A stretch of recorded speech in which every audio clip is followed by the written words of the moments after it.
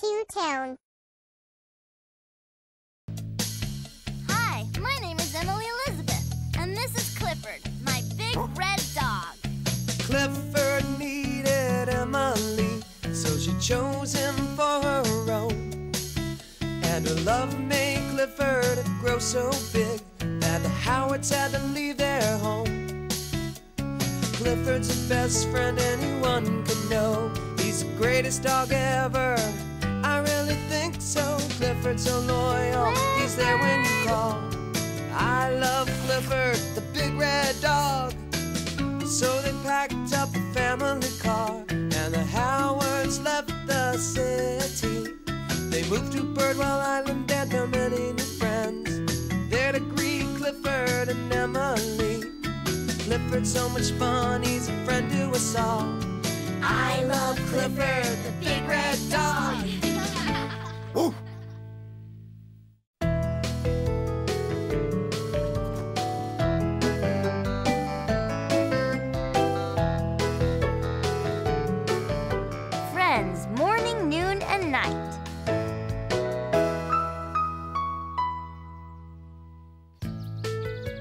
Okay, Clifford. I'm gonna throw my stick really high this time.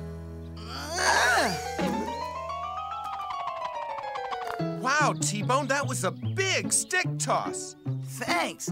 Now you go. Okay. Here I go. Ugh! You're one of the best stick tossers ever, Clifford.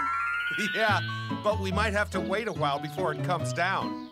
Oh, Caroline, I really appreciate your family keeping Cleo while I get the house painted. I'm sure Clifford will love having her stay with us for the next few days. I think Cleo is really excited about it, too. Hey guys, guess what? What, Cleo? Come on, guess. Right now, we're waiting for Clifford's stick to come down. So, just guess. Uh, you got a new bow. Yeah, I did, but that's not it. You guess, Clifford.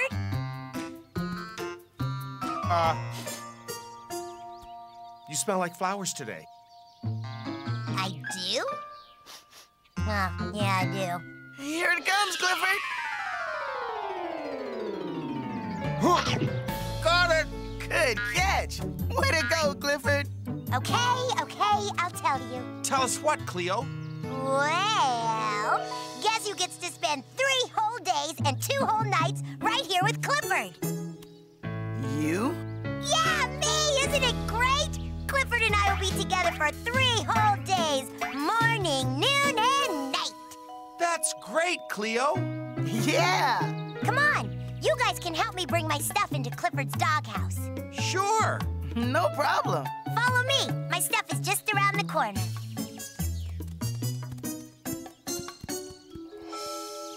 Okay, Clifford, bring her in. Okay, stop. Wow, that's a lot of stuff. I'm not sure I have room for all this in my doghouse, Cleo. Sure you do. We could put some of your stuff in a corner or something. Oh, well, okay. I'd like to stay and help you guys unpack, but I have to go. Sheriff Lewis is taking me to Dr. Dihn for a checkup today. Well, I have to go too, Cleo. It's time to pick up Emily Elizabeth from school. It's our special time together. Okay, so what are we waiting for? Let's go get Emily. I don't remember you asking Cleo to go along with you. It's okay. She's my friend. Come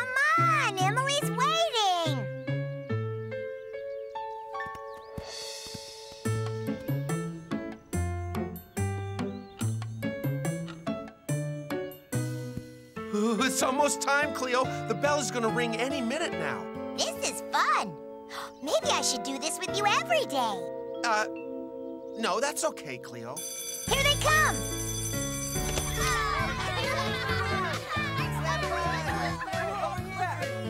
Hey, Clifford! it's good to see you too, Clifford.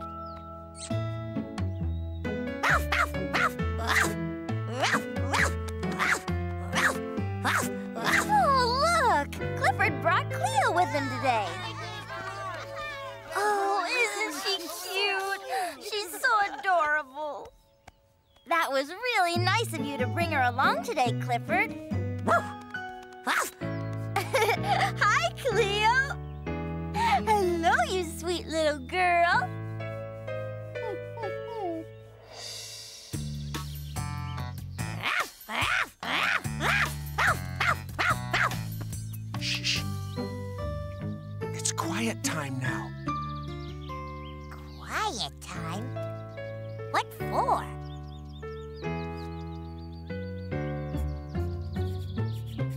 Emily Elizabeth's doing her homework.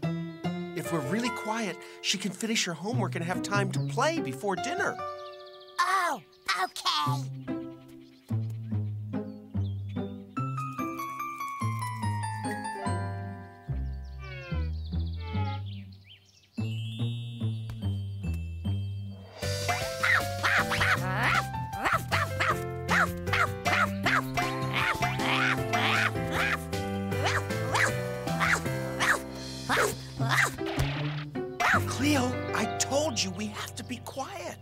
Oh, yeah. Sorry. But please, will you play ball with me? Quietly? Well, okay. Here it comes!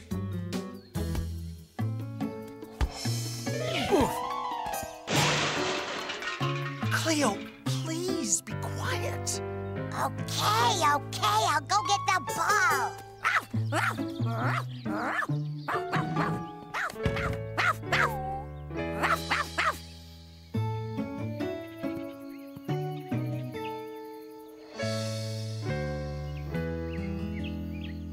That was a great ball game we played today, Clifford. Yeah, but it was too loud. Too bad Emily didn't have time to play with us today. It took her a long time to finish her homework because we were so loud. Your bed is nice, Clifford. Maybe I'll sleep in here with you tonight. Uh, I take up a lot of room. Heck, this bed is plenty big. Come on, lay down. Okay. Ah, there now. Isn't that cozy? Yeah, it's great.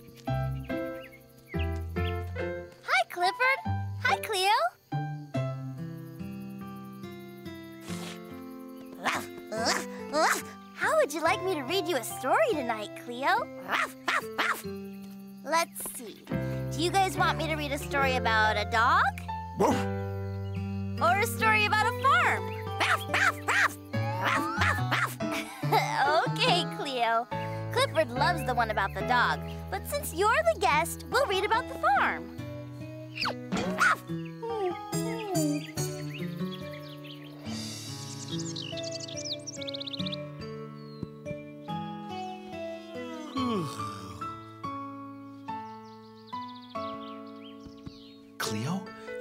wake up and take Emily Elizabeth to school with me this morning?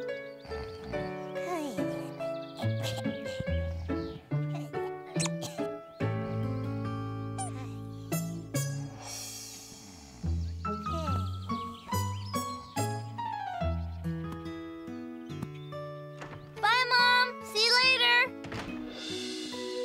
Good morning, Clifford. Where's Cleo? Did she decide to sleep in this morning? It's nice having her visit with us, isn't it, Clifford? But it's nice to have some time for just the two of us, too.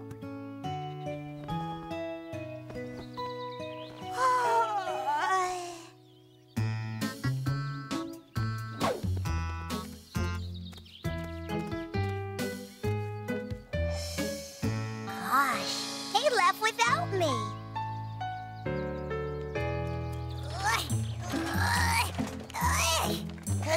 What's up? I'm going home. Why? I thought you were staying for three days. I can tell when I'm not wanted. Oh, What do you mean? Clifford snuck off with Emily this morning. Without me. Gee, Cleo, maybe you just wanted some time alone with Emily Elizabeth. You think so? Yeah, Clifford really needs his time with her. Hey, guys, what's going on? Don't worry, Clifford. T-Bone explained everything. And I forgive you. Huh? Cleo saw you and Emily Elizabeth leave this morning without her. And I thought that meant you wanted me to leave. Oh, no, I don't want you to leave, Cleo. I know. Can you believe I was being so silly? Come on. You guys can bring all my stuff back in now. Oh, and Clifford, could you take down a couple of those pictures of Emily? I want to put up some of these pictures of me as a puppy. Well, come on, guys. What are you waiting for? What is wrong, Clifford?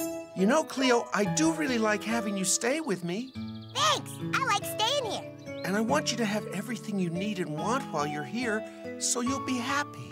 But sometimes I wish you would think about what I might need. Oh. You mean like time alone with Emily?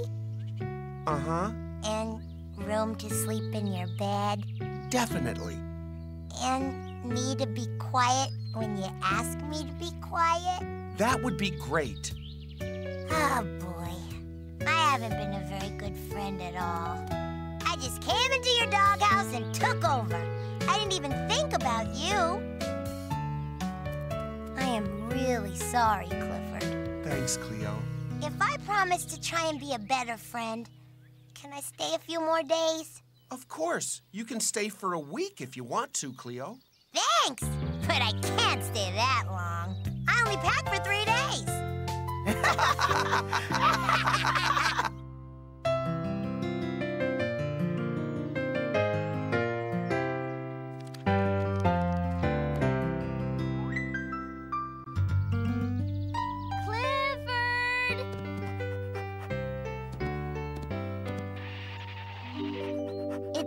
Time! You want to hear a Speckle story, don't you? I thought so. He's your favorite. Today's story is Speckle and the New Ball. One day, Reba was showing Speckle her new red ball. She bounced the ball so high, it almost touched the clouds. That is a great ball, said Speckle. It sure is, agreed Reba. In fact, I'll bet Ravi would like to play with it too. And she walked away, taking her new ball with her. I thought she wanted to play with me, he sighed. He was even a little sad. But Reba can play with whoever she wants, Speckle thought. And he went back to his sandbox. He began building a sandcastle when Reba's new ball suddenly landed at his feet. Speckle looked up and saw Reba and Ravi. Are you ready to play ball? asked Reba. Speckle realized that all along, Reba had wanted to play with Ravi and him. Okay, he yelled back, and the three of them laughed and played and had a wonderful day. The end. That was a great story. Isn't reading fun?